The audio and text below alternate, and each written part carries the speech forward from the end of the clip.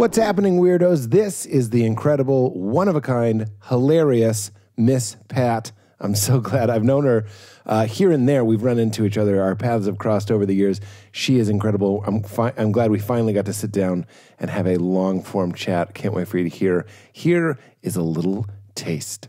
Powder is for you. We That's don't right. use powder. That's right. Black people smoke crack. Yeah, I don't like that I'm the example of whiteness, but I'll. I mean, I'm it. just saying that. I You're sitting across from Yeah, me. No, I get saying. it. If there was another white guy, we could have gestured. Well, I can say her then. She's Yeah, white. Katie. Since you want to Katie feel bad. loves going skiing, if you know what I mean. What? She does a lot of coke. I don't believe that. The Miss Pat Show is three seasons of hilariousness. It's on BET Plus right now. Check that out. And if you'd like to see something I am up to, what am I up to? I am on the road. If you want to see me do stand up comedy, go to PeteHolmes.com. I am coming up in New Orleans, Dallas, Houston, Milwaukee, Madison, Wisconsin, Royal Oak, Michigan, Minneapolis, Minnesota, New York, New York, and Ridgefield, Connecticut. I will be adding some new dates as well. Tickets for all of those dates will always be at PeteHolmes.com or follow me on Instagram. I'm always tweeting, tweeting. Yeah, I tweet on Instagram. I gram on Twitter. It's just something I do. Uh, but I'm always sending out those links. So check that out if you want to see me uh, live, or if you're going to be in the Los Angeles area go to largo-la.com. We had to postpone the one in March, unfortunately, due to a shooting conflict with a TV thing I'm doing. But May 4th is the next one in uh, Los Angeles. Go to largo-la.com for that if you're going to be in the LA area. All right, everybody, that's all I got to plug. Enjoy this chat with the one and only Miss Pat. Get into it. you can put your shoes on it. Sit like that. I'm not putting my shoes on because somebody got to help me put them back on. I'm good. No, don't take them off. Put you put your shoes on. No, Pete, this is how fat people say it. No, Yeah, I Pete, saw. I Brett- can't do that. Who the fuck you saw do that? Bert Kreischer? He he. I'm telling you, he was rushed to the emergency room after. He did what now? He was rushed to the emergency room after if he was sitting like you. He can't sit like this. Oh, no, he no, cannot. It'd take a lot of stretching before this. You can't be lounging like I'm painting your portrait the whole time. Oh. Here, here, take this one. We're gonna at least prop you up properly. Prop me up. There you go. There you go. Jesus. Okay, there you go. All right. How do you? How's that feel? Like I want to go to fucking sleep. This is a great big. I'm a big person. You're a big person. This is our couch. This is a deep if you seated. with no bra on and no, No- hair on, and when you just relaxing. Oh, you're. I thought you were pointing out that I today am not wearing a bra. Oh, That's just me. okay. These well, are the good. ABCs of me. Well, some I ain't gonna, hey, this is California. Y'all get to be free here. So Are you? Do you live out here? Hell no. Where are you? Are you? I'm in Atlanta. You're in Atlanta. I was just there. when? Where was I in Atlanta? What was the venue called? You was performing there. I know because I saw something. Yeah, I was performing in Atlanta. And Um, I, I can't remember the name of it though, but I've been all over Atlanta. Laughing uh, Skull. Winery. City Winery? that sounds right. yeah, I think yeah. it was at City Winery. Like a six hundred something, like a mid. No, no, that wasn't. no, uh-uh. no. Okay. I know I saw you coming to town. I, I know Yeah. that. I asked everybody. I'm going to ask you. You're from Atlanta. Mm-hmm. I was like, what is Atlanta? I asked a lot of people in Atlanta. I was like, what is it? You know, like you say, like, what's Chicago? They're like deep dish pizza, Oh. mustaches, White Sox and Cubs. You go, like, name any city. You could say fucking Orlando. People be like, well, Disney World, we got like swamplands. Then I'm like, what is Atlanta? What is Atlanta? Uh, Tell me what it is. lemon pepper wings, sweet tea, Okay. soul food. yeah. Uh, I like lemon pepper wings. I haven't heard that you're yet. talking about the white side, white people, stadium hot dogs with sauerkraut. I like know. that you're you're reading my Eastern European. okay, now we're talking. Sauerkraut on a hot dog. Thank Yeah. you. And is it is it a segregated place? It seems No, like no. No. it's it You know, seems very diverse. It's I, li- mixed. I lived in Indiana for 15 years and I was blown away by the segregation. I'm like, why don't y'all live out here in Plainfield? It's like, oh, it's too white. I said, but the school system is awesome. Crimes. You know, I just, I was shocked. That's I, the premise of your show. You really lived in Indiana. I really lived in Indiana. I didn't know. And why did you go to Indiana? My husband worked at General Motors. Okay. So and when I moved to that little small town Plainfield, I was like, money separate. I mean, money separates you in Atlanta. yeah, okay. In Indiana, they was separated. It was a whole like mixed people. If you was if you was had a mixed child or you was a mixed couple, you lived in Fisher. If you was white and, and middle Sorry, class, there was a mixed race area. I swear it was. it was Fisher, Can I see Indiana. you? Yeah, Fisher. We're gonna put you in Fisher, Fisher if you have mixed parents. Yeah, or so you're mixed. uh, Plainfield was like middle class, and Geist was for the super rich. Okay. And uh, Indianapolis, uh, that was just for poor. That was for black. Poor black. I ain't gonna say poor black. thought you I'm gonna said say. I'm gonna say. Did you say Poe? I did say. Poor. I heard Poe. Uh, it was a few. I just don't want it to sound like I was making up no, no, Poe no. Black. It was just, it was just so like you knew it's, it was crazy where I don't think there's an area in Atlanta for for mixed race couple. They just everybody just live everywhere. Right. But if you went that's to actually- Fisher, it was a lot of mixed race couple. in in Indiana. Mm-hmm. Okay. See, that's one of the things that I noticed and liked about Atlanta. I don't know if that's true of Georgia as a state, but Atlanta for sure. There didn't seem to be lines like there are in Chicago. Chicago is very segregated. It's like certain bus lines, certain Oh parts yeah, of you town. Chicago so segregated. You better wear the wrong colors and cross the street. You mean gang affiliation? Yes, that's what I mean. I used to. I sound like the NPR like subtitles. Miss Pat means gang affiliation. I uh, when I play Chicago, I used to play the um, the little club downtown, Zanies. Zanies. I never Yeah. I never left the area. Yeah. Okay. I always stayed right in there my hotel, and I just I don't. Well, you go were afraid anywhere. of Old Town Chicago. No, I just stay in my fucking room. I figure if I'm in my room, can't nobody snatch me, can't nobody kidnap me, can't get killed, and I ain't getting no stray bullets that didn't belong to me. I'm gonna stay in my fucking room. If you get a bullet, you want to make sure it was for you. Uh, pretty much, Yeah, yeah. At least make sure it was intended. I you. would just, I'm, I'm not lying. I love I, Chicago is a beautiful place, but it scares me. Yeah. Like I can go to some other place like Demond Hour, hour when nobody really goes and just and I'm okay. Yeah. But I, I think it's because of all the shit that you hear on the news. Yes. I I don't come goes down. outside in Chicago. Yeah, a lot, a lot happens in Chicago. I mean, big city, Big city, yeah. big city. A lot isn't happening. Doesn't get reported. You know what I mean? Yeah. A lot of people. I mean, just walk down Atlanta the the same way. I mean, look, look, we we we we got gangs and shit too. Yeah. So I stay on my side of the road there too. And did you move into? Um, you've had a lot of success. I'm assuming you got a nice place. There's beautiful houses down there. Tell oh me about yeah, I didn't house. want to live around a lot. I didn't want to live where all the celebrities live. So I just went down to the country part of Georgia and bought me seven acres and built the house. Seven acres. Yeah. What? That's huge Uh, to me. Yeah, Seven? y'all don't get shit up here. That's true.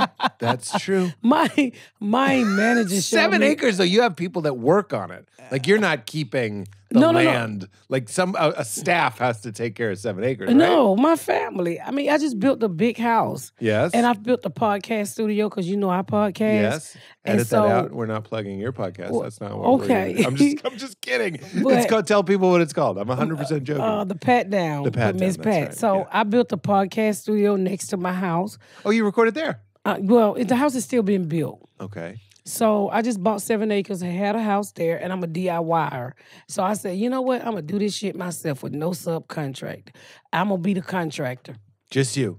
And I went out and hired an architect, and I learned a lot. It gave me a headache, but I'm still building to this day. Did it make you realize why they have subcontractors?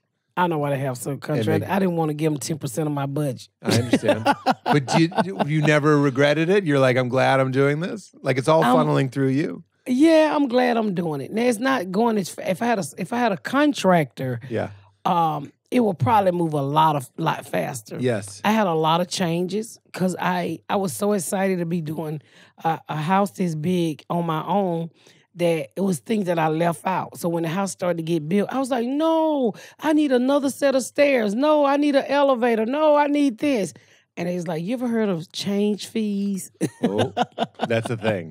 yes, it is. You're like Tommy Lee in the beginning of Tommy and Pam. Did you watch that? Mm-mm. Yeah, they were doing their own house, and he was like, "I need a rotating waterbed and stuff like that." And they were, and the contractors hated them. That, that Yes. comes. Do you really have an elevator in your house? Yeah. Like a service elevator?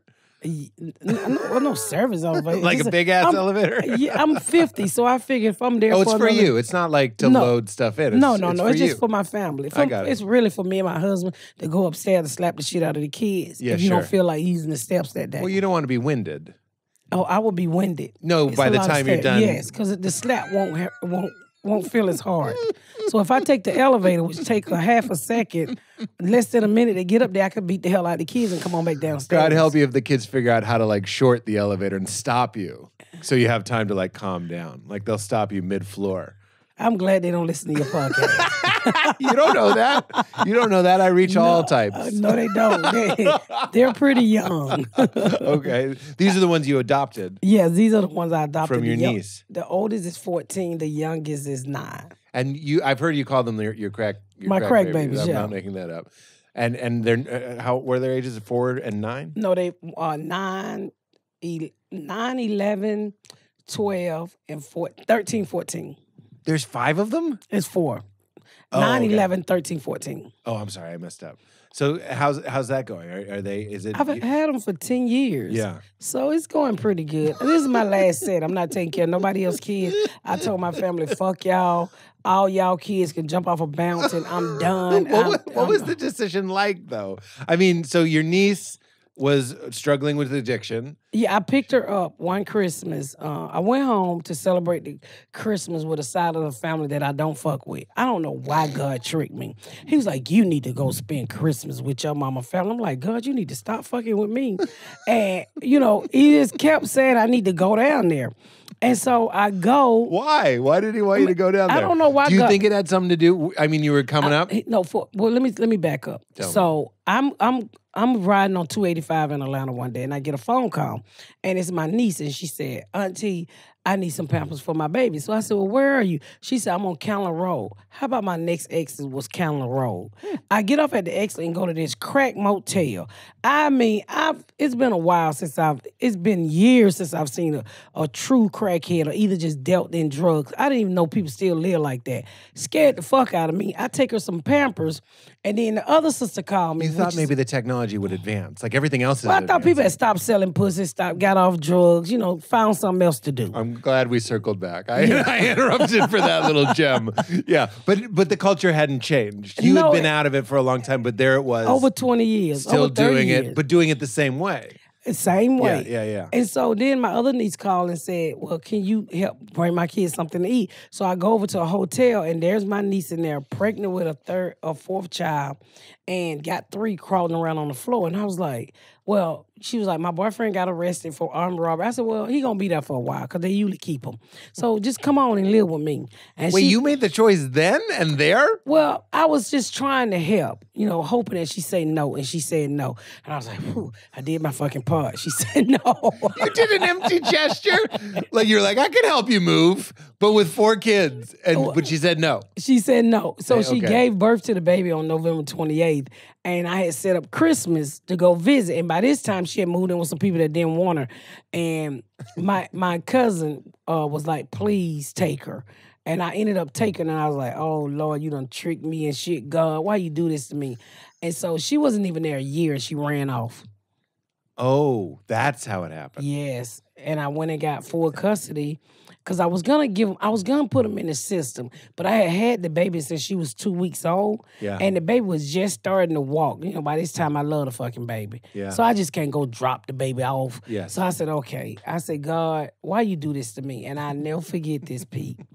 A voice whispered in my ear and say, "Keep him," and I got you, and my whole life changed. Tell me about this voice. Please tell me. I, about I swear it was the voice of God. You know, Yeah. everybody hear different things, But but was it? Did it seem like outside of yourself? Like it sounded It like my voice, like here it was in the room. it was a, it was I don't even want to say it was a male voice. It was a warm voice, yeah, and it but it wasn't just in your head. I- I- It wasn't not- in my head. By the way, it could be in your head. it wasn't in who's my to head say God because I doesn't never talk in wanted our them head? fucking kids. Boop. It was. You it- needed an external voice for a life change this big. Can I say, last time I was in Charlotte, the woman who drove me was an all black woman car service. It was called like Pink Boots or something. It was it was amazing. They drove me Can to turn this up? and from the airport. Anyway, she was oh. telling me, I was like, why are you still in Charlotte? And she was like, her mom was there and she was standing in her bedroom and she heard God's voice. And I said the same thing. I was like, was it an external voice? And she was like, yes, it was. So this Yeah. voice is going around and making people move I back mean- to their mom's hometown and, and adopt four kids. That's a big deal. Well, you Better know- be an external voice. no, they came to Indiana. I brought them to Indiana with me. Okay. and we all just moved back to Atlanta. But you know, I wasn't gonna keep those kids. I I mean, I was I was really working hard to get a comedy career out the ground. I was doing okay. Um, and I just didn't my kids was grown. My kids was getting ready to graduate. My last two. You were just going to be done. I was gonna be done. I was Yeah. gonna be free, just me and my husband. I love how honest you are, by the way. Everybody else would be like, and you know, they're beautiful children. And oh, I Oh was- no! And no, you're like, I don't want no. this. I didn't fucking want them kids. And I tell people all the time, I, I love them, but I didn't. I didn't want them. But they mama. It's honest. It's yeah, honest. I mean, it's honest. And then I put them in school, and I fell in love with them. And I'm like, well, shit. Every child, you know, we can't pick our parents. And to me, for coming from where I came from, every child deserves to start off on a solid foundation. Yeah. Now, you get if your child fuck up their foundation and break and crack it, it at least you can say they beginning was was solid. yeah. Cause I know my beginning wasn't mm-hmm. solid, Right. And I know what I went through with having a crumbles up under my feet. So I was like, you Having know a what? under your feet? Crumbles, Crumbles? crumbs, what break, break? I don't fucking know. I just want to make sure I understood that you said crumble. Yeah, you try to walk away, but you crumble. As no. Macy Gray the Creek is all broken and no, no fucking foundation, Pete. I had no foundation to stand on. I wasn't calling to question what you said. I just Yeah. want, I'm here to listen to you. I love that. If she laughing, I made up the word. Usually when she laugh, I made up the word. Is crumble a word? yeah, crumble's a word. Oh, crumble. Okay, okay. Zero. Jasmine knows. Yeah, you I, and, and it's the right word. You grew up in a rough situation, Mm-hmm. and that had to inform, that had to open up your heart. Why you Well, wanted that was this. you know that wasn't my first set of kids that I raised. That was like my fourth set. What So does I that was, mean? You have your biological kids. And then I had my sister in law kids, and then I had my uh my sister kids, and then I had my um I had these kids. Okay, then you can say whatever words you want, and I'm gonna say, you know what I mean? So- like if you're raising four sets of kids, And, and I'm I wasn't I wasn't even I don't even think I was thirty. I wasn't even twenty five, and I had already raised two sets of kids, I don't know. or three sets of kids. You're like a superhero or something. You, I was a damn fool.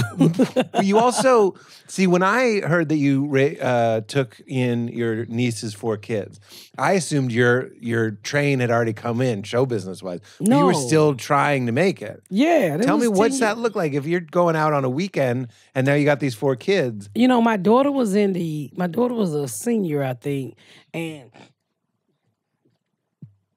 excuse me, she was getting ready to um, graduate, and she wanted to go to HBCU. So when I brought my niece in, who was still on drugs, but I didn't really know it because I had got a job, got her clean, taught her how to drive, bought her a car, everything. You taught her how to drive? hmm Okay. Got her glasses, got by. I, I've never seen a human being, and I'm not fucking talking about my niece. Well, yes, I am. I took her to the dentist and they pulled 18 teeth. I said, bitch, you only got 32. No, 18. They pulled 18 teeth. That's more than half. I'm, I'm doing the math right now. Well, I, It's a lot. I don't I, I don't know how the fuck did you even open your eyes with 18 raggedy ass teeth in your mouth? And, and, and there was a rush to get them pulled because she was on Medicaid. So I was like, "Can you get them all pulled?" You know, she got a job now, but her her health care of them p- kicked in, but she's still on Medicaid. So you know, the med- the least they can do when you're on Medicaid is pull them. So they pulled all her fucking teeth. Did they give her fake teeth or she's just walking around? They was with- all in the back of her mouth, so she was able to chew like a bunny rabbit with the front of her teeth. Will you stop it? Yeah, I mean. She nibbled? She became a nibbler only. No, she became a hoe only. More of a hoe, because I got them rotten teeth out of her mouth. She could suck dick without her jaw hurting. I can't. I can't yes and this premise. She she used to have a toothache all the time. It's hard to suck a dick with a oh, toothache. Oh no! Yes. no! No! You can when your teeth hurt. Don't act it out. Don't say it's hard to suck a dick with a toothache. Because that's going to be your YouTube quote.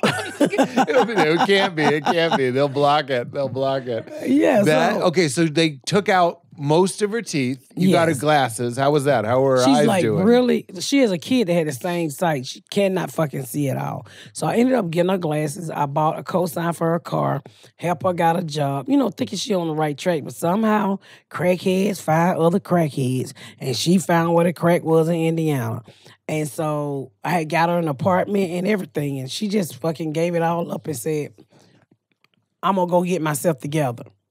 And so when I called Defects and asked them to help me, they wouldn't even fucking help me. They told me, well, the kids are, aren't in danger. You got food in the refrigerator.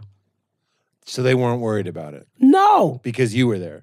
But they- they were like, technically, she didn't abandon the kid. I was like, yes, she did. These kids did not come out of my vagina. She abandoned these fucking kids. And they was like, no, the house looks safe. Y'all got grocery. We'll see you later.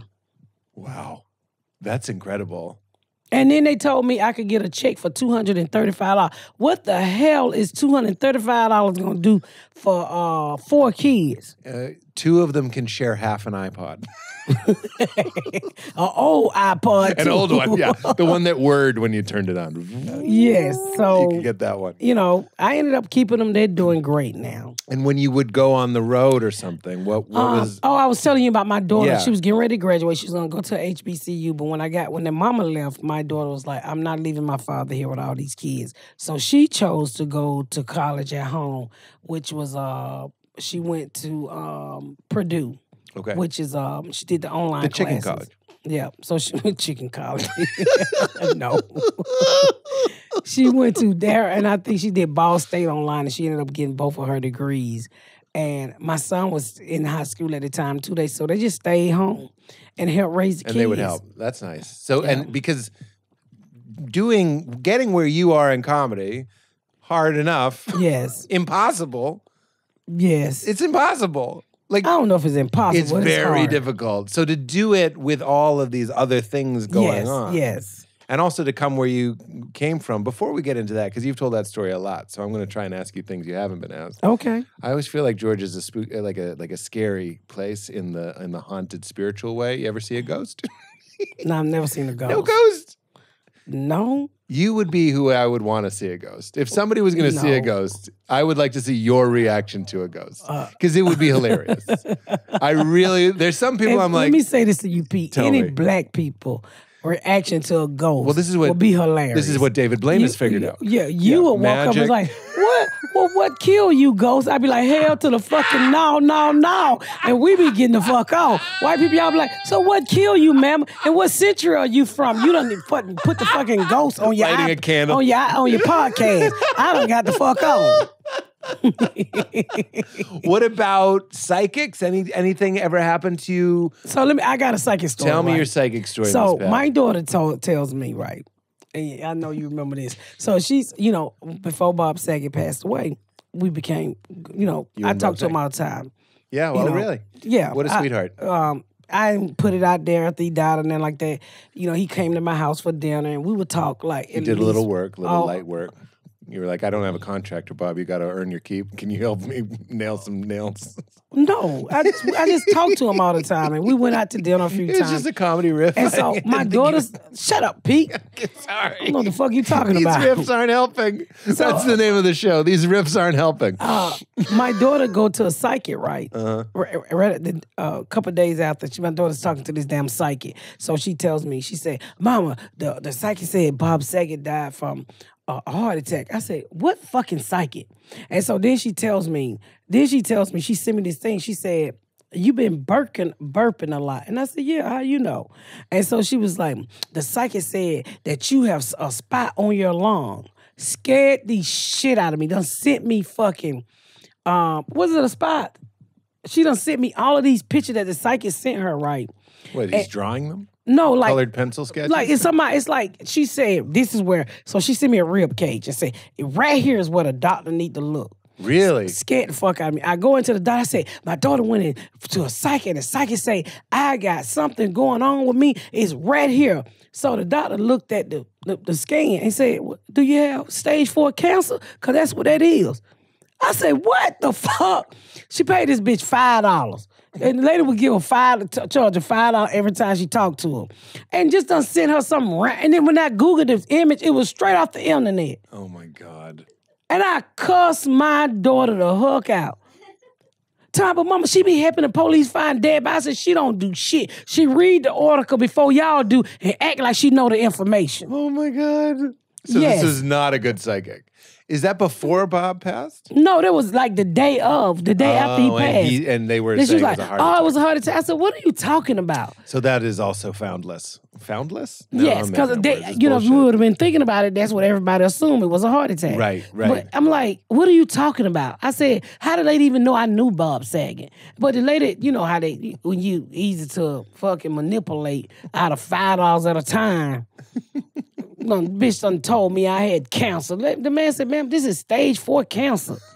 And this person gotta be dead. This is really bad. Oh, I done took the scan into the doc. You're not listening to me. He was like, No, you're not listening to me. Tell okay, this is unbelievable. I'm glad I asked you for your psychic story.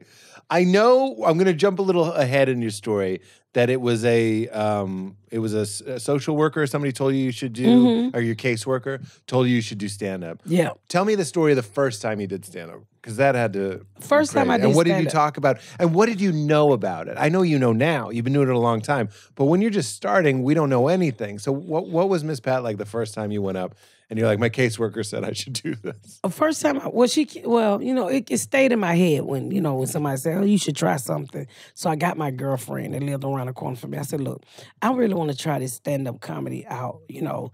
And my neighbor was always edging me on too. So I said, I said, I'm gonna try this stand up comedy. I said, if it don't work and they don't like me, because I had went, I started going to the comedy club in Atlanta back in those days. You can go Monday through Sunday, mm. every day of the week. There was some type of open mic or something. And you would go and watch? I would just go and watch. Yeah. I would just go and watch. Nobody knew I wanted to be a comedian. I wanted to see That's and always the best advice. Just go and watch a little bit, see what it looks like. And see I them do the same act twice. I nice. went for six months watching. just watching. And so finally I got the courage up and I told my friend, I was like, let's just go up to this little place called the pub. And it was near my house because I lived in Riverdale and, and the little pub was in Morrow. It's a little bar. And I went in there and I signed up for open mic. And um Mm. I was so fucking scared. So I Yeah. started drinking Coronas. And I don't even fucking drink no beer. and it was this white girl and I just showing her ass. And I went in there. Wait, and- what? What? Just acting a fucking fool. On the stage. no, just in the audience drunk. Okay. And so I started off with the first joke I ever told, which my brother was a, a professional cat burglar. And we used to break in people's houses, but one day he kicked in somebody's door. A little old lady sitting there watching like Price is Right. And he was like, Freeze, bitch, I'm the FBI and snatched her TV and we ran out the door. Good night. That was the very. I very need first some oxygen. that was the very first joke He I ever told. Is it true? Yeah, it was a true story. That's the first news report you ever gave. like you, Well, you pretty he much, said- pretty he much. kicked at the door, said freeze with the FBI. Yeah. Took the TV. And two black kids just running there and snatched this little old white lady TV and run out of the door. Oh, and she's like, the FBI needed to seize my television for an important I don't case. know what the fuck she said. We didn't look back. This is like when me and my friend Opie stole our first Playboy. My job was to distract the clerk. So you were basically the me in that situation, and the other guy was the Opie who actually stole the magazine. You know what I mean? Yeah. It was the easier job. Well, I He's kicking, he's yelling, I think when my brother was picking up the TV, I was unplugging it while she was just like, "What the fuck which is is an important on?" job. The unplugger is very important. Try and do that heist, that scam without someone to unplug the TV. Exactly. See how far you go. So I, so that did it work? Uh, yeah, my brother always broke in people's houses. That's how we got school clothes and food and you know shit like that. We, you know, he, that's what he did. You go to work, we kick your dough in. And you went with him. That was something Yeah, yeah, I needed pamper money. So if I got things like, um, if we if we it was probably thirty years ago. Yeah. So um, oh well, I've been married thirty years, probably forty years ago. Wow. So I had one child at the time, and my child is now is thirty four. so if we needed stuff like school clothes or money or you know we were he was still- Basics. we would steal stuff. Like Right. I would go in there and like steal detergent, Pampers, if they had any. You know, go in their refrigerated food, whatever. mm. You know, and we, what we got, if we can sell, we sell. Right. It wasn't Catherine Zeta Jones going underneath the lasers. This was like a crime of necessity. You needed basics. Yeah, we needed basic. And how do how are you getting in? Kick- My right. brother was a good. My uncle, when he was a kid, taught him how to pick locks. That I would never let anybody. My uncle was taught my brother how to pick locks. I never forget. He started with the lock in your hand, Mm-hmm. and he showed him how to pick that. Then it went to door locks. Then it went to. I mean, went to bedroom door locks. Yeah. Then it went to uh, door regular door locks. Yeah. So my brother could pick a fucking lock like nobody, no other. This was Demetri Martin. I think had a bit about this where he's like, "What is the code of like the ethical code of locksmiths?" Because they teach you in locksmith school how Nah, to break my into uncle any. taught. My uncle Yeah. Peanut taught my brothers. I know Peanut. No, you don't.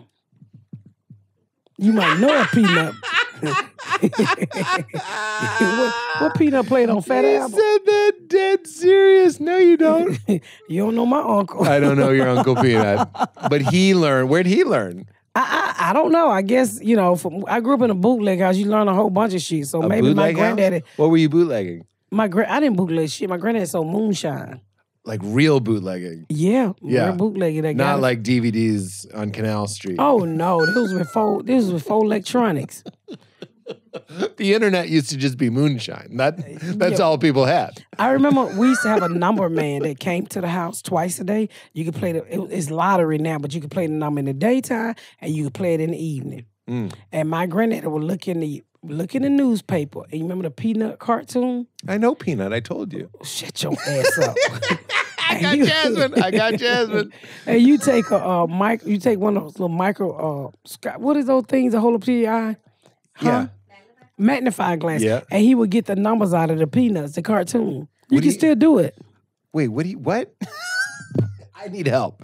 Okay. Pe- the so- Peanut comic strip. Well, how would that have the lotto strips. numbers? I, I- I don't know how they put them together, but but old people do this. They take the comic strip and they get a magnifying glass, and you look put your look in that category, Yeah. and it's all types of numbers hanging off of those um really? off those cartoon characters. I swear my hand to God, go do it. So my mama would play like You mean in the drawing? in the drawing. So there'd be like a it'd be in their seven, hair. it in it the could hair. be in their eye. It could be in their hands.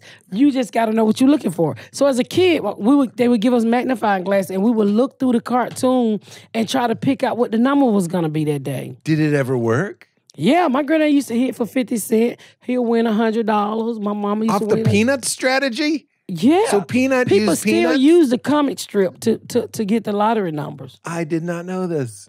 Cause you don't know enough black people, Pete. I know lots of black people. Well, you don't know nothing. Been looking at Peanut.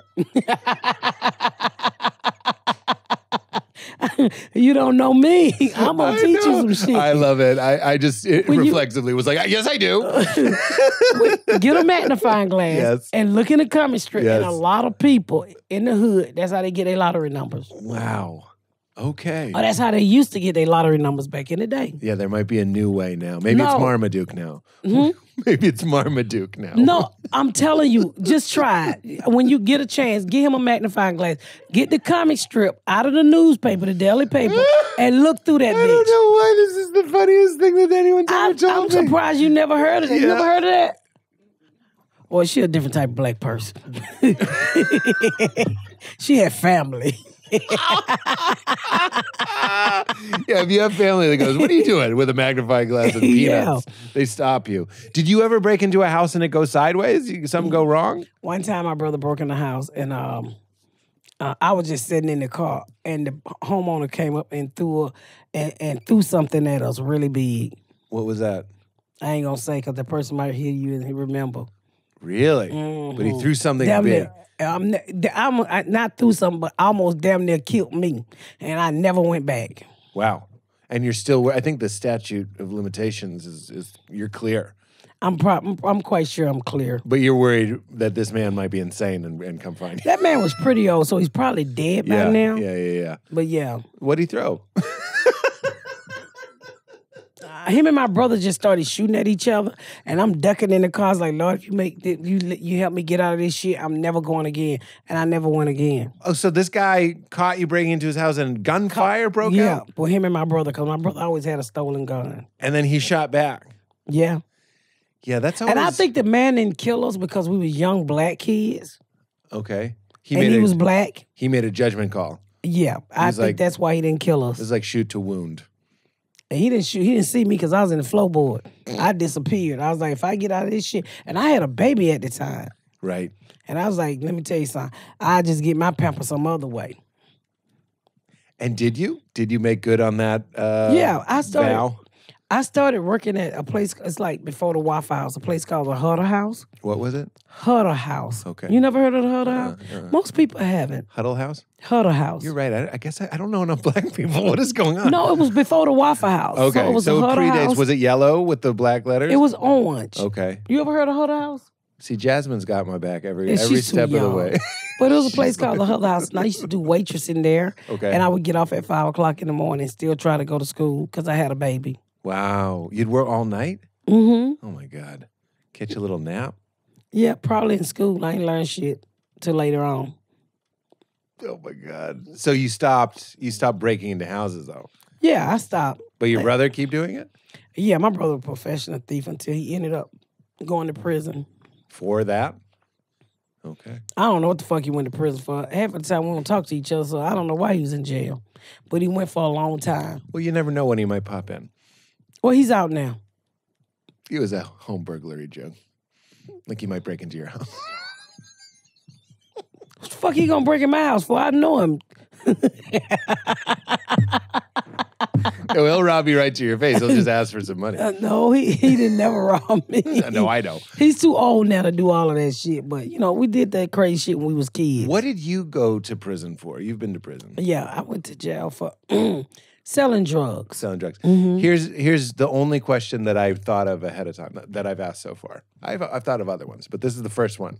What do people get wrong about prison? You watch TV about prison, people talk about prison. You were there. What's what what did they get wrong? How is it different from what everybody says? Or is it not? What do people say about it? Horrible. Yeah. You know what makes me mad about people today? Like I've People getting up. jumped constantly in the in the shower. well, I didn't see all of that. Yeah. What What makes me mad about people today that go to prison, and you know, I, I I did I did all my crime when I was young. The ones who who wants who thinks they at a hotel. In prison. Yeah, they have the audacity to complain. Uh, you wouldn't be in this situation if you wasn't in fucking jail, if you didn't commit a crime. Right. So Now, I'm not saying you go and you beat them and you mistreat them. They're still human beings. sure. But like they have the right to write in. If like my son was a my son was a correction officer, right? Uh, in Indiana, and the, the the the things people were write in. One guy wrote in and tried to sue the state of Indiana and my son, and said my son knowingly came to work with COVID and gave him COVID. And sued. Well, he tried. He tried. Uh, I, well, it, it didn't go anywhere, but just dumb shit like that. Did they he- write grievances? Did he up- give him COVID? No, my son fell out time he got COVID. Them motherfuckers gave my son COVID. Right.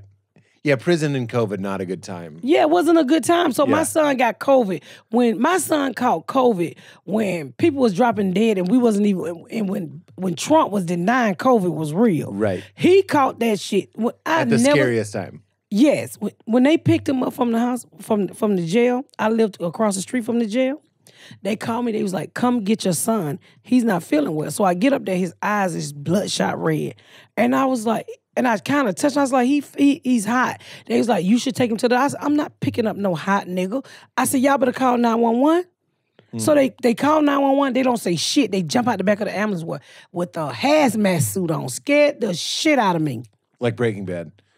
Threw his ass in the ambulance and everybody get back and asked me to hold his jacket. I said, I want his fucking jacket. You better throw that shit in there with y'all. And I didn't see His my son for three weeks. You didn't want his COVID jacket? I didn't know what the yeah, fuck we didn't was know. wrong with We- him. that's what I'm saying. It was the he was, he time. couldn't even open his eyes, and when he did, it was like his eyes was on fire. Mm. And I was like, "What the fuck is wrong with you?" That They rolled him out of the jail in his uniform in a rollaway chair and parked him on the curb like he was like he was trash. Wow. I stood there and waited for the ambulance, but I stayed back. I was like, I'm not picking him up. He ain't getting in my motherfucking car. What y'all do to him? Mm. It was so funny because now that my son is okay, the prison was hollering out of the jail. I hope you die, you fat fuck, because they didn't like my son. Didn't like Because all this was happening across from the prison where they no, no, see? no. It was happening in the at In the, the prison, Okay. so they could see at the window. So they was all yelling, and I was like, "Why they don't like you?" Well, my son, I think my son was an asshole, but my son followed the rules. You couldn't get him to do nothing or break the rules. He took Right, his job right. serious. But they all on was yelling, "You die, you fat fuck!" and they rolled him off, and he was gone for three weeks, and he came back forty pounds lighter. Oh my God. Well, I'm glad he's okay. Oh, he's fine now. He eat COVID now. He sprinkles it on us. Yes, he don't lose any weight when he So that's it. one of the prison things is that there's like good guards, bad guards. There's deals Yes. being made. You're trading uh, goods and you know cigarettes and stuff. Is that all true? That's true. My son said my son have some funny prison stories. One time he told me he said they caught one guard on on tape and um they asked her, they said, Are you smuggling stuff into the jail? So they was fine, right? And she said, I'm not, why you keep taking a prison in the mop clause? She said, I'm not smug- smuggling anything in the jail. I'm sucking dick. but she was That was her defense. but that's what she was doing. She Yeah. was there sucking all the prisoners' dicks.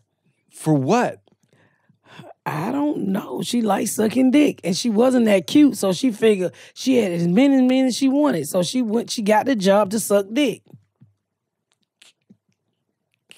Can we please? I don't understand. A woman's just like, God, I gotta suck I- a lot of dick. How do I do it? I know. I'll become a prison guard and just tell, like, word will get around, like, meet me in the broom closet In the broom closet. for no goods or anything. Just I for the love of the game. My son had the funniest fucking prison story. He used to come home and tell me that crap. I would laugh till I piss on myself sometimes. yes. Okay, when you were there, did you? This is a dumb question, but did you absolutely hate it? Was it the worst? Um, it was just you couldn't go anywhere. It was a bunch of lesbian stuff going down. And I was in prison. You know, I went to jail real young, like 8, 17. Yeah, So I couldn't understand that's the whole not juvie. You were in regular. no back when crack when crack hit America, they and it's turned violent. They changed going to jail from the age of eighteen to seventeen Oh wow. because so many. And then when when crack first came to America, you could go to jail for crack and have a bond that day. At, it was so bad they wasn't letting drug dealers back out on the street. You had to apply for a bond. Mm. So when I finally, I I I got in trouble for selling crack, and then I ended up uh, on probation. I violated my probation, but while I was there, it was just a bunch of lesbian stuff. Like people I went to school with. I was like, "Why are you gay?" Well, there ain't nothing else in here to do. Well, I don't want about eat my pussy. Prison gay. Yeah, prison gay. It was a bunch of that, Yeah. and that was the first time I ever seen a hermaphrodite. Now that scared the shit out of me. A herma- are we doing? Hermaphrodite. I'm from, I'm pronouncing it wrong. And Tell I'm looking to Kay to see if we still use that term. It's a person who has both sets of genitalia. Yes. Okay. Okay.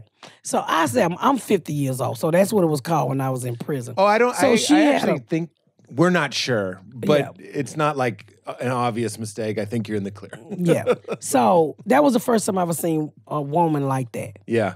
And she would show it to and every she would fuck everybody. Oh, and she also had three nipples. Well, I swear my hand to God, this lady had three fucking nipples.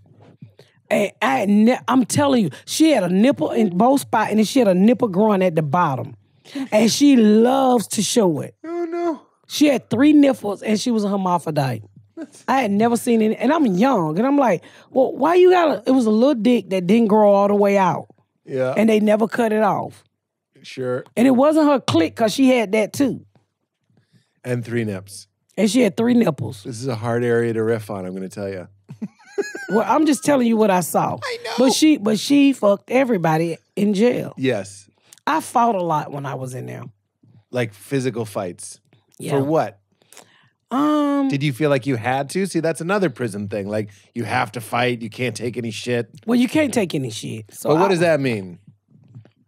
Some I, I'm I'm in prison and some dude slaps my food out of my tray out Oh, of my Oh, you hands. gonna be forever picked on. Uh, unless You fucking fight back. unless I You gain some respect right then. right then. Like I can't like plan it and be like I can't like my food's No. on the ground. Like all right, we'll see who's laughing tomorrow. No, none of that shit. I have to do it right you would then. be fucked. Pete. Let me ask you this: He slaps it out of my hand. I'm picturing a weird white supremacist guy, big motherfucker. Mm-hmm. He slaps it out, and I fight him and I lose, did I still gain some respect? A little bit with an ass whipping. Okay, better than uh, just taking the disrespect I think it's better than taking a disrespect. because I'm gonna lose, but I'm at least I'm gonna like flail around and. What if I do some something crazy like I pee on him or something? You might gain a girl, a boyfriend. Which way? Is it my? I don't know how you like it, Pete. I just don't know if you mean like okay. Let's get off that subject. That's a weird one, but it's true that you have to fight and not. I mean, shit. you have to defend yourself. And what what was the first fight you got in in prison? I had so many, uh, but I the one I remember is like this crackhead came in out the street and this lady kind of like mentally, I would say something was wrong with her. Yeah. And I was on the phone. Back in those days, you could talk on the phone. And if you wanted to extend the call, I think you just mash a button and they keep going, but they keep charging you by the minutes. And so You're I was on the phone. Yeah, payphone. Yeah, yeah. They was all in this in the jail cell. Mm-hmm. And I was on the phone for a really long time. And uh, I think she wanted me to get off the phone. And so I we got into it. So the next day while I'm on the phone, somebody uh, while I'm on the phone, she go upstairs and she pour out all my shampoo and shit. All my throw all my shit around in my room.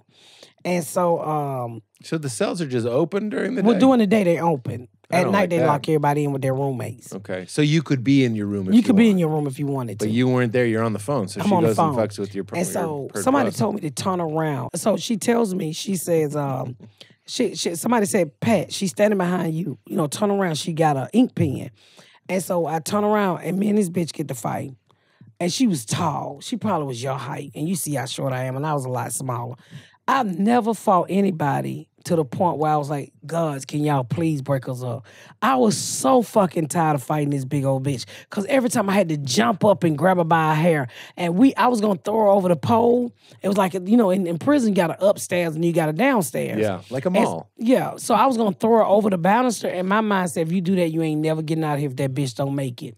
Right. And so I pulled her back over the pole, and I'm just hitting this crackhead and hitting this crackhead, and she's not feeling it. She just keep coming back for more, and I was like, "What the fuck is the guard?" But the guard up there in the window just watching the fucking fight.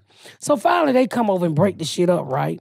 And then they throw us outside uh, on the basketball court on different sides, and you know I'm in Georgia. Mosquitoes ate our ass up.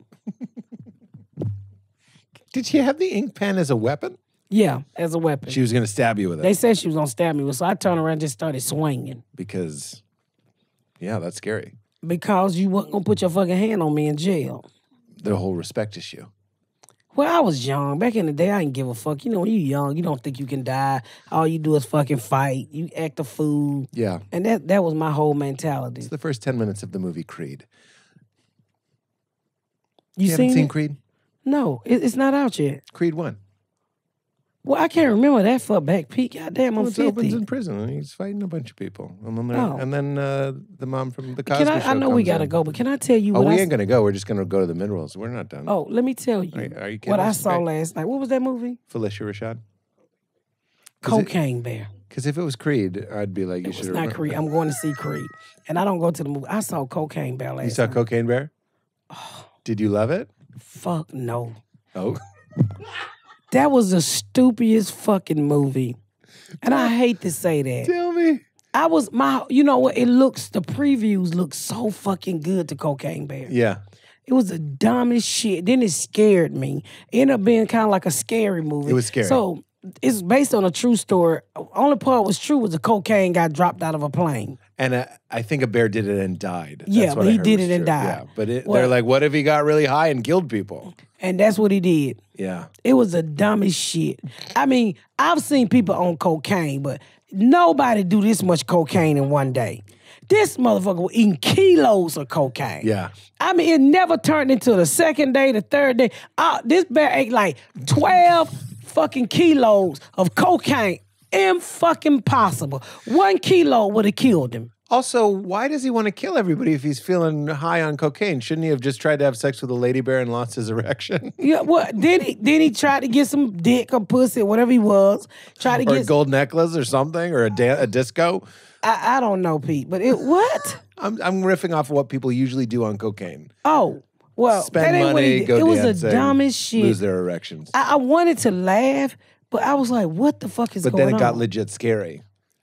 Well, when he was ripping people kneecaps off and shit. Yeah, that's not fun. And I mean, but I'm sitting there knowing, knowing somebody who's dead with cocaine. I don't give a fuck if you is a bear. You can't eat no block of cocaine and just be running around hunching on people. This goddamn bear ate like 12 things of coke. I mean, duffel bags of cocaine. It's a lot of cocaine. It's gonna kill a bear. And he wasn't dead at the end. Him and his kids was on cocaine. Oh no. So I guess they couldn't Spoiler. kill the bear in the Spoiler. movie. You couldn't kill the bear in the movie because of Peter was like, oh my God, you could at least send the bear to rehab. I'm assuming that's what Peter More, was saying. more like uh, uh, their agent named Peter was saying there's going to be a cocaine bear too. I mean, this is clearly going to make money. That's Well, I went to go see it. It looked so good. I was like, but it wasn't what I was expecting. Yeah, I tried to watch Brendan Fraser in The Whale last night. I'm not saying it's not good, but it was so heavy that I was like, he dropped a key and he's trying to get it with his like pincher claw thing. Yeah, have you seen The Whale? He's a he's in a big, big, big, big, big, big, big prosthetic uh, fat suit. No, what are you talking about? Brendan Fraser. It's a new. he got movie. swallowed by a whale. No, no, no. It's called The Whale, and he's a big dude, and that's why it's called The Whale. But like around the part where he's just trying to pick up a key with pinchers. Well, I can't pick up my keys. Well, I don't want to see a movie of that either. So what? You was feeling sorry because he couldn't he couldn't he couldn't pick up his fucking thing. I, What? Fat people don't tie their shoes. That's why they buy slip-ons. oh my God, will you stop it? You're killing me. So Brendan Fraser is fat and what? He's really, really big, Mm-hmm. and he couldn't pick up a key. And it wasn't that it was that horrible, but I was like, I'm about to go to bed. I don't want to have dreams that I can't pick up a key for eight, for eight hours. It was just, it was a heavy movie. But I laughed at myself. I was like, what did you expect? What did you think it was going to be? Is it It's- out in the theaters? You can rent, you can buy it. It's also in theaters. Yeah, Oh, I might have to check that one out. yeah. It'll it'll solve the problem I that mean, cocaine I'm fat. I can't bend over sometimes. He's like nine, years. I mean, he's he's a he's real big. He's like Gilbert Grape. Remember what's eating Gilbert Grape? Yeah, I remember that movie. Yeah, it was like That was a woman, big. right? That's Gilbert Grape's mom. What's she eating? That was, that was a better better title. She was a very big woman. That's the one they told her on the side of the house to get her out. That's right. But in the whale, Did they ever put her on a diet? I don't remember because it wasn't really about her, was it? I'll say in the whale, it shows him eating a lot. Because you know, Did he lose the weight? I don't know. I I, I left around the key part. You was at the theater? No, no, no. I bought it. I was home alone because Val, my wife, doesn't want to watch it. So I was like, I want to watch this. And I'm not saying it's not good. I'm just saying it was it was very heavy. It was a little bit like Cocaine Bear was scary. Well, Whale is sadder than than they made it look. Cocaine Bear was was it scared me in some points, but it was not as funny as it looked like it was gonna be. right. And um I wanted to see a little bit more story than the bear just ripping everybody apart. Yeah. So, you know, What's what are his dreams? what are his hopes? I just wanted it it didn't do it for me. I understand. But I I, I we went, you know.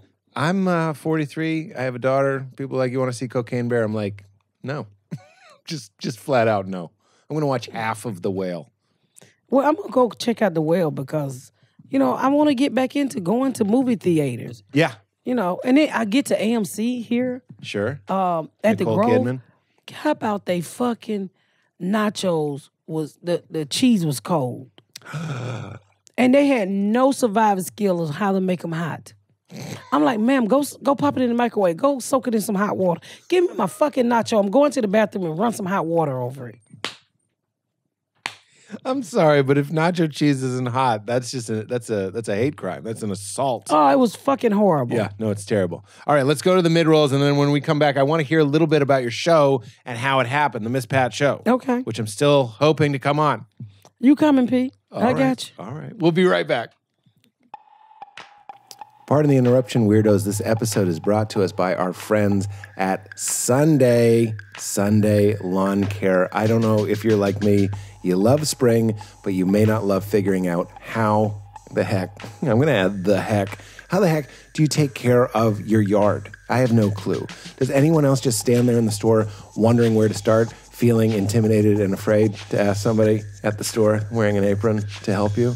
That's where Sunday Lawn Care comes in. Sunday is everything you need to get the lawn you have dreamed of. We're talking healthy, we're talking lush, we're talking easy to do, no brainer stuff. They take all the guesswork out of it. So this spring, go to getsunday.com slash weird and enter your address to get a customized plan. It's so cool. They find where you are and they give you a customized plan created just for your lawn. Not every lawn, your lawn and the conditions of your home. No trips to the store or hauling heavy bags since they ship straight to your home.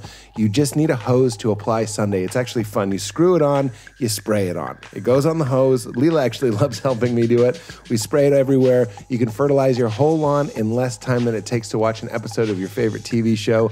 And they only use ingredients you feel good about. You can feel good about, and you do feel good about. That means no harsh chemicals, no long waiting periods, or trying to keep your kids and your pets off the lawn. Simply apply, let it dry, and you're back to just enjoying your yard, which is what you should do. Sunday is easy and affordable. Some lawn care services cost more than $1,500 a year, but Sunday's full season plans start at just $109. And Sunday is offering weirdos, our listeners, 20% off. Full season plans start at just $109, and you can get 20% off when you visit getsunday.com slash weird at checkout. That's 20% off your custom plan at getsunday.com slash weird. This episode is brought to us by BetterHelp. The show is sponsored by BetterHelp. Getting to know yourself can be a lifelong process, especially because we're always growing and changing. I've sought out therapy in times of transition, whether it's moving, whether it's changing a job situation, whether it's changing a relationship. Uh, that's often when I've craved and needed talk therapy more than other times in my life. And therapy is about deepening your self awareness and your understanding because sometimes we don't know what we want or why we react the way we do until we talk through things. We say this on the show all the time. Talk therapy is one of those things that is greater than the sum of its parts. It seems like two people talking in a room, but when it's a professional who knows how to listen, how to actively listen, and to guide and coax you into the right areas, it is absolutely life changing. And BetterHelp connects you with a licensed therapist who can take you on that journey of self discovery from wherever you are. It's never been easier. Therapy has absolutely changed my life. It's changed Val's life, obviously for the better, or I wouldn't be talking about it right now. It's it's like a catharsis, it's guidance, it's everything that you're that you're hoping it will be. I promise talk therapy can really make a huge difference in your life, especially at a time of transition or change. And when aren't we in a time of change? If you're thinking of starting therapy, give BetterHelp a try. It's entirely online, designed to be convenient, flexible, and suited to your schedule. Just fill out a brief questionnaire or get matched with a licensed therapist and switch therapists at any time for no additional charge. Discover your potential with BetterHelp. Visit betterhelp.com slash weirdo today to get 10% off your first month. That's better, H-E-L-P, betterhelp.com slash weirdo. Support your mind, your mental health, and show some support for the show. It means a lot. Go to betterhelp.com slash weirdo. Last but not least, we're brought to us by our friends at Ritual Multivitamin. You guys know I record these intros often when I'm traveling on the road, and I always demonstrate that Ritual, I take lots of different supplements at lots of different times in my life, but Ritual are the only ones that make it into the carry on. I never travel without them, I never miss a day. I take their uh, probiotic and I take their daily men's multivitamin, and I have the doctor checkups to show this stuff works. It gets into your system. You don't just pee it out. I hear a lot of people dismissing uh, multivitamins because it just goes through your system. Ritual has a delayed release formula, so it doesn't break down until it's in your lower intestine, which is how your body can absorb that stuff all that stuff, you know what I'm saying? The nutrients, the nutrients. In Ritual's case, the traceable nutrients. They'll tell you where these nutrients are coming from, which is incredible. Added to which, they have prebiotic, postbiotic, and uh, probiotics in one in their Synbiotic Plus, which I take every single day. We always talk about how important gut health is. It's basically like a second brain, and keeping that healthy is so important for so many major body functions and your overall wellness. So you can talk fantasy football with your friends all day, but asking them for health advice, not the move. Ritual takes the guesswork out of the vitamin game. Their multivitamin for men is based on science to help fill common nutrient gaps in their diet and level up your nutrition, your nutrient goals. It's an all around win. It is scientifically developed multivitamin with high quality ingredients in clean, bioavailable forms. Ritual is your new type of two a days. Help supporting heart health with omega 3 DHA to normal muscle function and normal immune function with vitamin D3. This small step can have a huge, major impact. It's made traceable because uh, knowing where your nutrients come from is just as important as what they're for. It's vegan friendly, non GMO, sugar free, gluten free, major allergen free. And if as if that wasn't enough, their minty essence in every bottle keeps things tasting fresh and makes taking your Maltese every day actually enjoyable enjoyable. So, Essential for Men is a quality multivitamin from a company you can actually trust. And get this ritual is offering weirdos 10% off during your first three months. Visit ritual.com slash weird to start Ritual or add Essential for Men to your subscription today. That's ritual.com slash weird. Do your body a favor, do your gut a favor, and show your support of the show. It means a lot.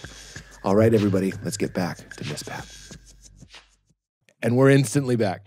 Tell me a little bit about how the Miss Pat show came about. I mean, we we were just in prison fighting a, a woman who was on uh, crack cocaine, and she's going to stab you with a pen. It's a long way from uh, having your show be Emmy nominated, going into the third season. Yes. What is going on? Um, How did it happen?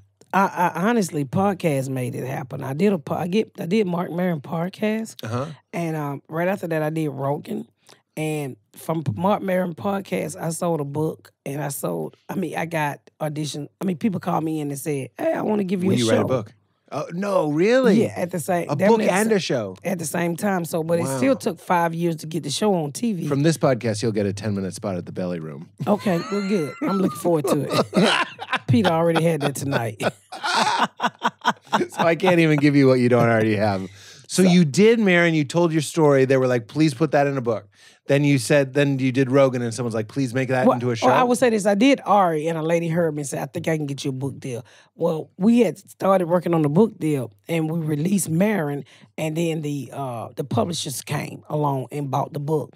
But at that time, Hollywood started. I had six interviews after that to Hmm. come on to just talk about, you know, to just try to see if I had anything. yeah, And um, I signed with one company. Nine months later, that didn't work out. And Imagine these are for TV shows. TV shows. Imagine Ron Howard Company picked me up Yeah, and said, I think we can develop something with you. So they brought Lee Daniel on the project.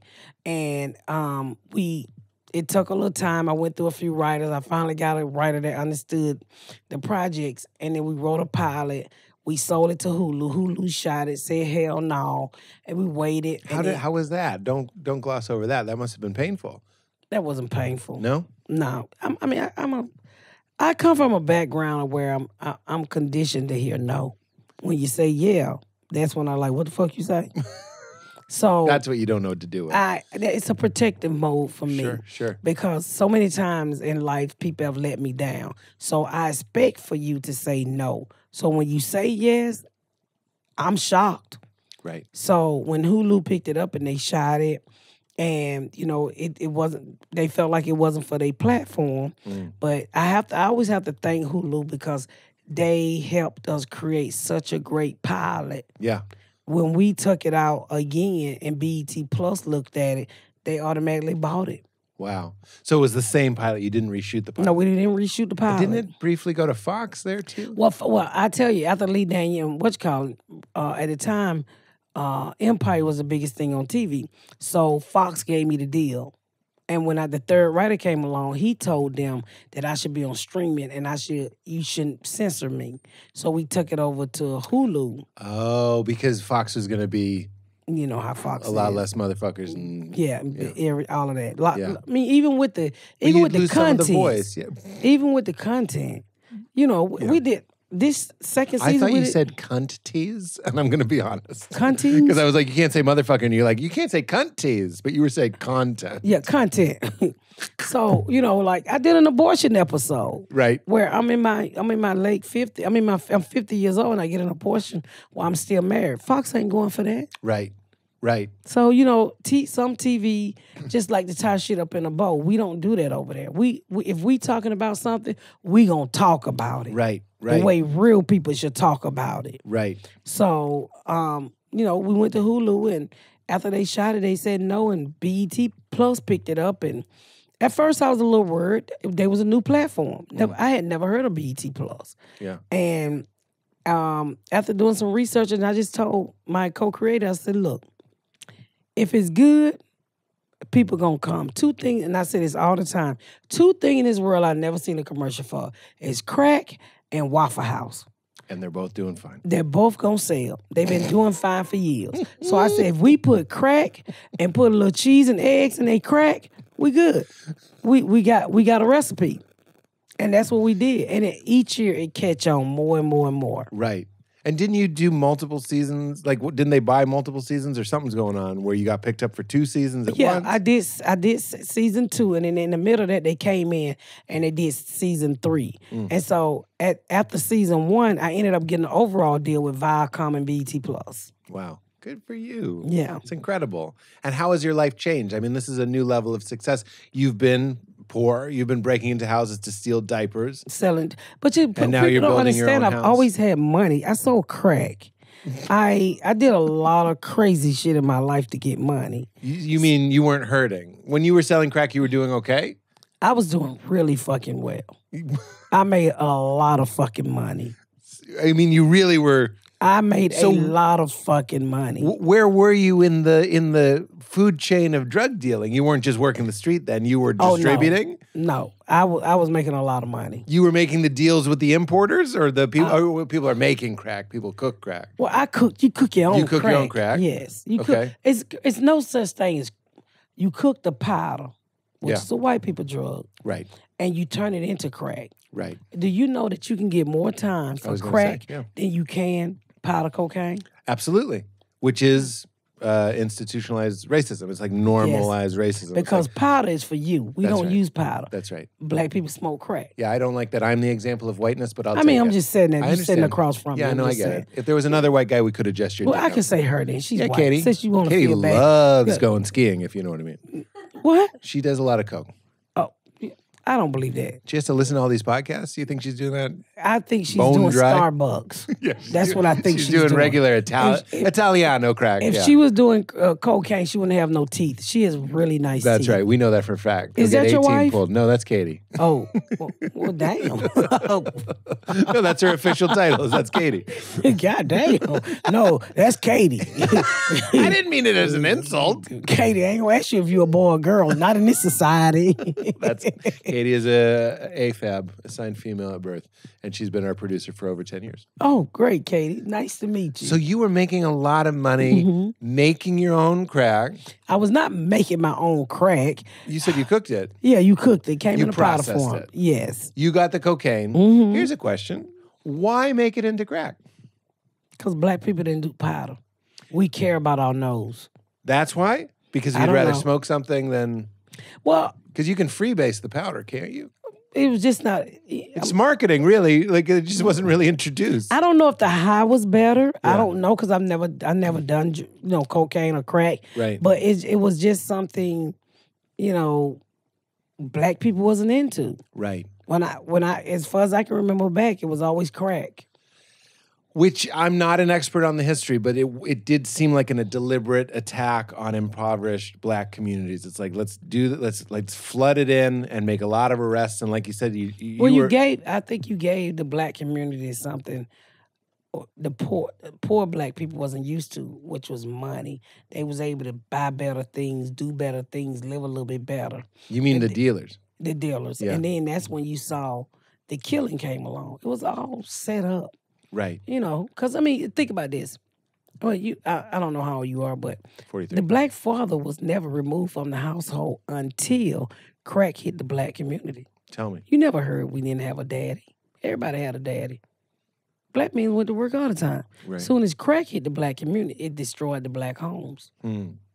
And you feel like that was intentional. I mean, you wouldn't be the only Well, one. so we as black people feel like that was intentional. Right. It was by design. Yes, I mean it's, it's uh, the same way as gentrification. When they come in and they want you to, the black people is like i- is in Baltimore, in Atlanta. We need that. We need that city, you know, so they can control the fucking state. Right. You get a, you get all of those poor black people out of Atlanta. That's a big ass chunk of the, of the state, Right, right. And it's also of like the city. This it seems like there's this belief that there has to be somebody at the bottom. So whoever's at the bottom, keep them at the bottom. Does that is that part of the theory? It's like let's because you it was already a community that was struggling, right? Well, yeah. And then you flood it to keep it down. You know what I mean? Like it make it worse. Mm-hmm. You know, I just saw this thing on TV. I'm I'm I- driving at stress. I don't know I saw this thing on TikTok, and this guy was speaking. I don't know if y'all ever seen it, but he was saying uh, it was a white dude telling the story. He said rich people come into poor neighborhood and buy buildings and leave them condemned so they can drive down the value of the neighborhood. Mm. So if they drive it so low, they could continue to buy, or they'll buy shit and let it go raggedy and they'll drive down the value of the neighborhood. And when they do that, they can get everything in that neighborhood for free. So if you really did your research on a lot of those condemned buildings in the ghetto, they're owned oh. by sometime one company or one person. Wow. And as they do that to bring down the value to say, oh, this is the ghetto. And then the city just start giving you shit. Well, hey, we'll give you this, we'll give you this, we'll give you this to fix it up. Right. When it was always somebody behind it driving down the value of the black community. That's sinister. Yeah, that's really devilish. Welcome to America. Welcome oh, well, into the camera, please. Welcome, Welcome to America. with Miss Pat.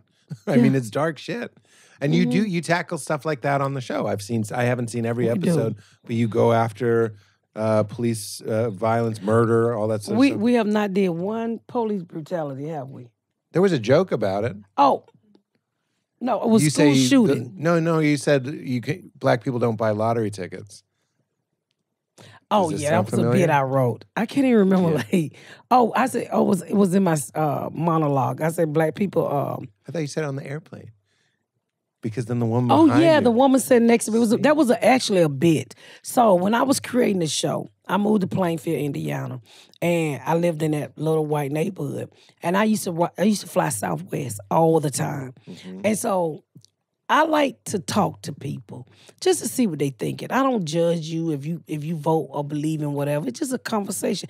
And I think as Americans, it's the things that we could we we should do more of. We can get a better understanding. Mm-hmm. I don't say you racist because you vote for Trump. Mm-hmm. I don't want you to think something is wrong with me because I vote a certain way. I think no matter which way we vote or believe in, we should Be able at to the talk. end, Yeah. we should be able to respect each other. I agree. So I, when I used to fly Southwest, I would always say was Southwest, the place where you can have those conversations. Yes. yes, that's I- right. so I was like A plus, right? Get on a plane first, and I would always block off a seat for a white person. Oh, I'm not lying. For somebody that did not look like that, I would talk to on a daily basis. Usually, it would strongly be white means. Every time, every now and then, I'll get a vocal white woman. Yeah. But I would block off the, the seat, act like I'm waiting on somebody, and as they come down the aisle, I catch my victim. And once, I mean, and I would, I, I- you know, I start off as a regular conversation, and then we'll get into life or we'll get into religion because I'm a nice, I'm an easy person to talk to, Yeah, you are. And so that's how that whole bit came about Was the lottery bit. with the yeah the lottery bit and sitting on the You plane. said with that the- to someone?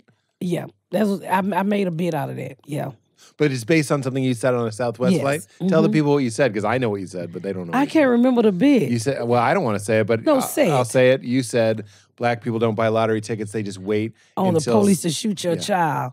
Uh, and then maybe you'll get an eight million dollar settlement. yeah, and then and, then, they'll they'll tax it. Yep, that Yeah. was that was. It's a very dark thing, but it's a way of addressing something that's It's very true. It's- It's very- we they kill all kids.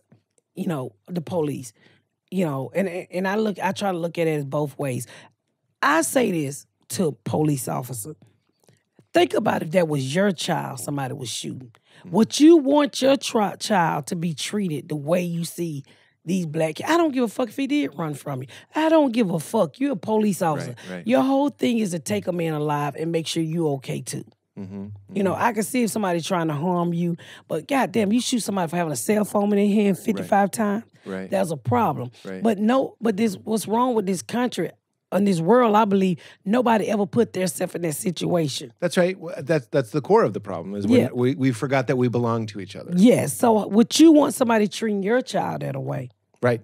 Would you want somebody beating the dog shit out of your child, shooting your child like that? so when when I made that whole bit and I opened it up with that because I tried to give the other two writers that, but they wouldn't listen to me. Mm. But I'm like, we can be funny, but we can also be sending a message. But we ain't gotta hit Miss Pat Show don't is not a teaching moment for white people. Mm. It's a teaching moment for all of us. Mm-hmm. Even when I did the non-binary episode, it was because my daughter is gay and my other daughter had a friend like that, and I had never heard of the word non-binary. Mm-hmm. And when she said she was neutral gender, what is it? Gender Ginger neuter. What gender is- neutral. gender neutral is very different. I I said, well, why are you neutral gender? Neut- Neutrogena. Neutrogena. Yeah. Damn Gina. yeah. Martin. Martin Lawrence. Will No, Smith. Slap. Chris Neutrogena, the Rock. shampoo. Oh, I'm sorry. Yeah. Yes. Pouring out the shampoo. We're back in prison. Yeah, so I mean, it's, it's it's it's just something that you know, it's it's hard conversation. We Yeah, we but should- humor can help. yes, When you do it funny, I'm sure the Southwest flight was the same. You can you have a specific talent, spider, of uh, addressing things instead. Tiny baby little spider. you should have killed it. Oh, he's he's definitely hobbling. I went like that. That was huge for him. That was like a But in three weeks, he gonna be so big. But anyway, keep going. When I you was just st- trying to give you the compliment that you are so funny. There's a lot of things that you can tackle and address for a lot of people to watch and enjoy. Yes, That that it's very hard to do. Nobody can do that. Very very few people can do it, and you're very special in that way. We're almost out of time, which I hate. But what do you think about God, real quick? God. Yeah, God. I, we talked about God tricking you a lot. What What is your God? Do you think life is over when we die? Do you Do you pray? Tell me. Tell me a I little bit. I don't bit. pray a lot. I I, not, I I don't. I never read the Bible. Yeah, Uh, it's a bit of a snooze, but yeah. Well, you know, it's man made. So Second it's, it's, it's, it's a way to control the population of people on earth. I truly believe. And I, Yeah, I sure. believe some of it is real, but um, I do think there's something bigger than all of us out in the universe. Do you think you've been here before? I think all of us is, I think we're recycled. Yeah, I agree. I, cause you know what? I was looking on Facebook, Mm. and so they have this thing where they show you that people before you. You ever seen that? And they have all of these famous black actors people before you. yeah, like like to show you you've been here before, and then they'll show you how people in Africa really looked. Jasmine, what does that mean? No, no, no, no, no. They show you like they show you a picture of Denzel Washington. Yeah. Then a hundred years ago, they'll show you somebody that was straight out of a trial. They look just like, Like Denzel, Denzel. Washington. Yeah, yeah, Let same face, same yeah, face. same face. Yeah, yeah, So yeah. I do think we all are recycled. yeah, yeah, yeah. Certainly, you God's running out of face ideas. I'll give him that. Uh, Yeah, we're just like, I don't know that fucking face again. And if you're gonna redo one, Denzel's a good choice. yeah, but You I know just, that dude at 300 years ago, people were like, "Man, that's a symmetrical face." But I, I, I truly believe we all been here before. I think Yeah. we all recycle. Yeah. I, I, I don't know. I, I don't think it's a hell or a heaven. I Right. think we just out there floating. Come back. I mean, and I think we all come back. That's got to make you less afraid to die, though. You're just like, well, this mean, is the only game in town, and we're just gonna keep doing it. I, re, I accepted it. I, I have accepted we all gonna die. but I don't know if I don't know if hell is real. I don't know if heaven is real. Uh, you know, when I was little, you had the Last Supper on the wall. I just pray that God has upgraded that dinner to a Chick Fil A in heaven, because I know I'm coming. Nobody want them shitty grapes that was on that plate on the Last Supper. Nobody wants to Yeah, eat that. Jesus, that- this is your Last Supper? Could we get that a- bread with no fucking preservatives in it? Nobody wants that. I just hope it's a. I hope it's a yellow brick road of fast food, and we can just fucking live. there you go. But I truly believe that we all been here before. I love that. Let me ask you this: our final question. Uh, Uh, can you tell me? This flew by, by the way. You're such a talent and such a pleasure to talk to, and I really hope I get to be on your show only to hang out with you. You can cut me out. I know. I've been. I've been Cut screaming. the scenes out. No, no. I w- I've been screaming. Hey, we gotta get Pete Lee on this show. we gotta get Pete Lee on this show. Pete Holmes, I mean- not Pete Lee. Oh Get my that God. Pete Lee out of here. I don't. want- I don't know why I'm thinking of Pete Lee. It's fine. Pete Holmes. Yeah, yeah, yeah. We gotta get Pete Holmes on this show. And you work with Patrick Walsh. Yeah, that's my boy. Yes. Yeah. So Patrick is a writer the on the greatest. show. I know, and he says it's a true, and he's right. He's he's very proud of it. You know what? I, we brought Pat- Patrick. I mean, we brought Patrick over to BET, and he has just fell in love. Yeah. We he is BET plus. He has just That's fell in love. I I, believe it. love me some Patrick. You Walsh. should like if you're ever bored, listen to him on this podcast because he tells these stories you wouldn't believe, really. He told me he stories. did stand up before. and he's done it a couple times. Yeah, he's Yes, he very good. told me. He just, I, for some reason he's not. He doesn't have the bug to like do it all the time, but when he does it, I've seen him do it. It's very good. He's very funny. Good. Not a surprise. The question I have for you here at the end, Pete Holmes, not Pete Lee. Yes. Pete Holmes is coming on my show. and not Pete Correale, I don't know who the Pete fuck that is. Davidson, and I don't know who not, that is either. um, there are other Pete's. Peter Pan. Not Peter Pan, although I've been known to go out a few windows. What does that mean? Listen,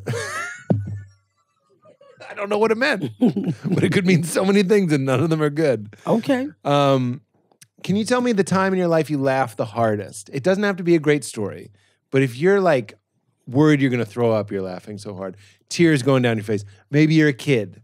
Maybe somebody fell. Maybe somebody farted. Maybe somebody slipped. Maybe your brother got shot at. uh, I'll tell you the story. My mama uh, had one leg because she lost her leg to diabetes real early. And so she used to get a social security check once a month. We didn't have a car at the time. So she would catch a cab because there was no Uber back in these days to the bank. Have the man sit there all day to the bank to the check deposit in the bank. It was a social security check. And a lot of time it didn't come to after 12, but she'd catch the cab at 8 o'clock. And just wait here. Just wait here. Just wait. And I'm like, and I'm saying to myself, I'm young. I'm like, well, bitch, just go to the bank at 1230. You know the check is gonna be there. yeah. So we was sitting outside the bank. It was an African guy, and um, by the time we get back home, I, y'all, I think the cab is seventy five dollars. My mom probably got six hundred dollars in.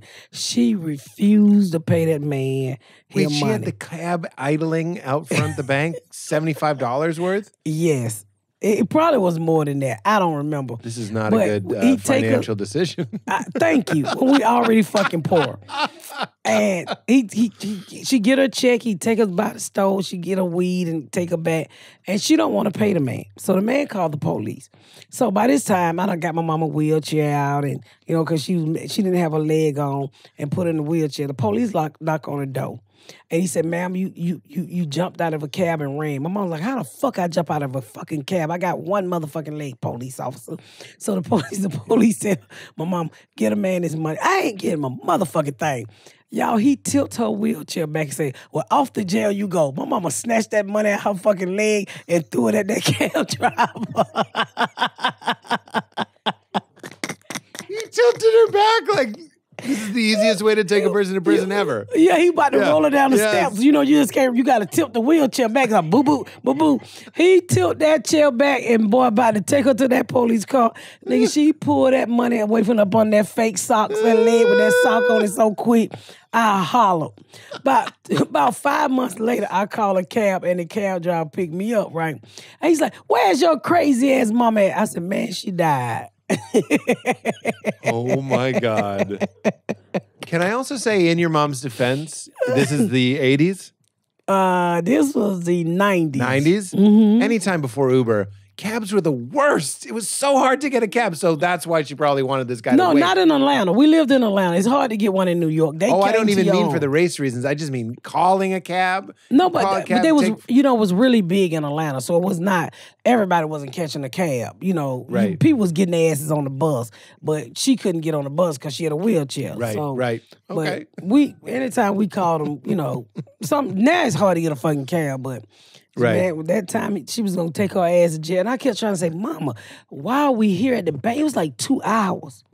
We was in that car sweating. We have no money for food. We was hot as fuck. And my mama kept having me go in the bank and ask the bank, the check got there yet? The check got there Oh yet? my God. He did a wheelie. He made your mom do a wheelie in a wheelchair. Boy, she's about to take her black ass to jail that day, boy. She gave that cab driver his money.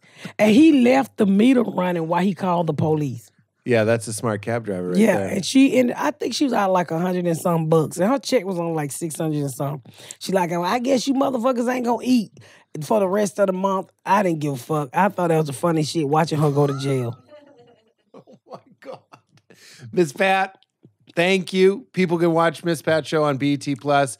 The Pat Down is your podcast. Thank uh, you for being here. Season three is out now. It's out now. It's out right now. And uh, would this is how we end the show. The guest says, "Keep it crispy." It's just the catchphrase. Would you grace us with a "Keep it crispy"? Uh, keep it crispy, but not fried crispy.